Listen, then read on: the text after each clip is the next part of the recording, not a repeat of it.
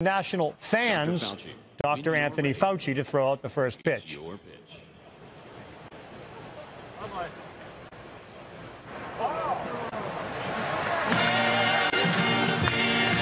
Dr. Anthony Fauci.